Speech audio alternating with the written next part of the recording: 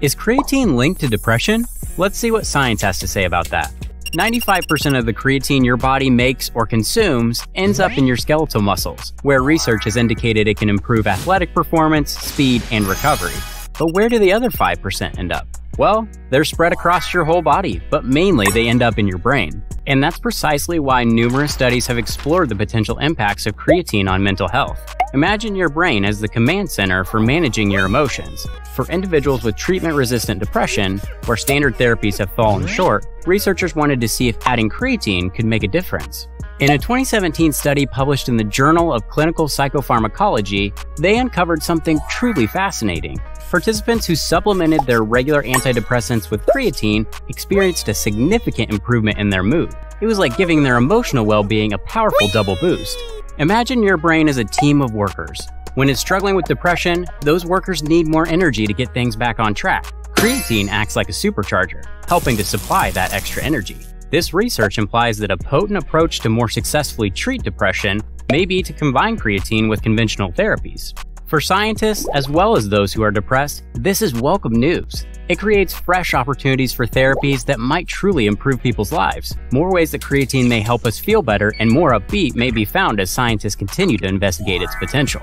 Continuing the discoveries made in earlier studies, in a 2023 study, Candow et al. published in Sports Medicine looked at how supplementing with creatine affected people with major depressive disorder. A placebo or creatine supplementation, in addition to their regular antidepressant medication, was randomly assigned to participants in this rigorous randomized controlled trial. With this approach, it is made possible to attribute any effects seen to the creatine supplement itself. The study participants were chosen especially because they had previously responded poorly to conventional antidepressant medications. Using recognized clinical assessment instruments, researchers tracked the participants' depressive symptoms during the usually several weeks to months long study period. Candow et al. reported strong findings at the end of the trial. People who were supplemented with creatine had far better improvement in their depressive symptoms than those who took a placebo. Those who had previously shown resistance to conventional antidepressant medications alone were especially notable for this improvement. The researchers concluded that adding creatine to antidepressant medication could enhance treatment response in patients with major depression. This finding opens a promising new avenue for addressing treatment resistant depression by combining creatine supplementation with conventional antidepressant drugs for synergistic effects.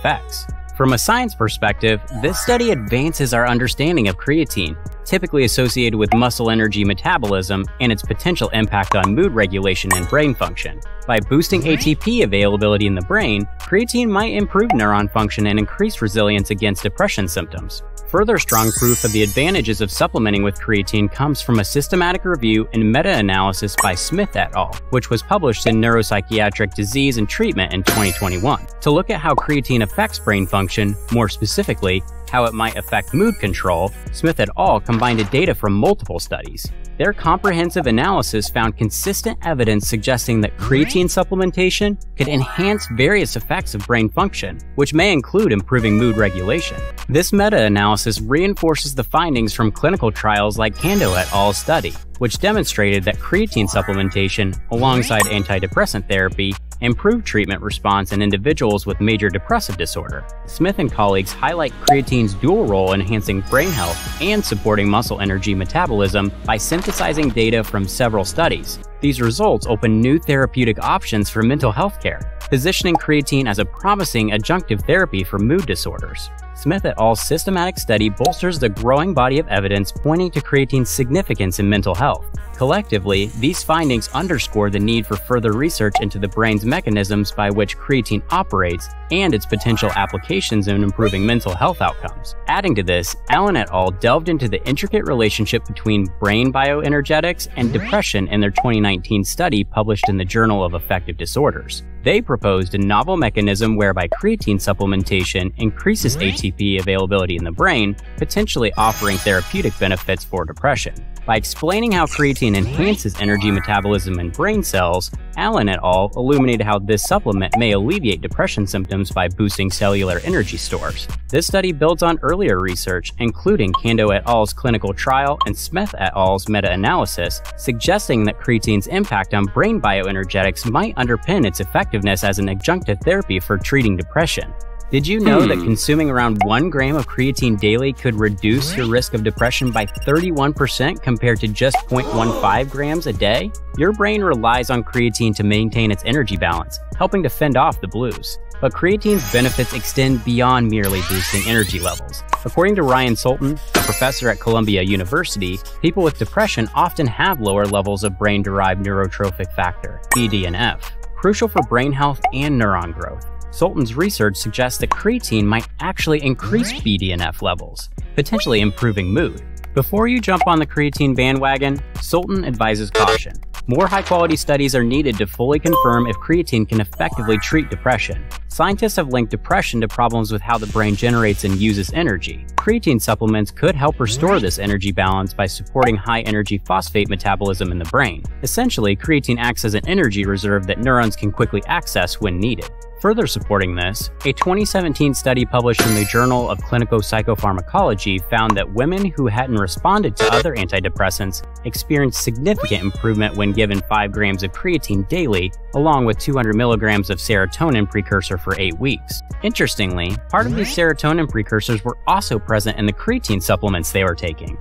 So, what do you think? Could creatine be a game changer in the fight against depression? The evidence so far is promising. Well, the most convincing possible application of creatine outside of exercise is, by far, the treatment of depression. 52 women participated in a tiny 8 week research in South Korea 10 years ago taking either an antidepressant or the same antidepressant with creatine. Additionally, a success rate twice that of the group just taking the antidepressant was achieved by the end of the trial when half the women in the creatine group were depressed free. Then again, after controlling for demographic and lifestyle variables, the risk of screening positive for depression was 31% lower among adults in the highest compared to the lowest quartile of creatine consumption, said University of Utah researchers two years ago after analyzing data from the National Health and Nutrition nutrition examination survey from 22,692 individuals over the age of 20. From their diet, consumers in the highest quartile received almost 1 gram of creatine daily, while those in the lowest quartile received just 0.15 grams.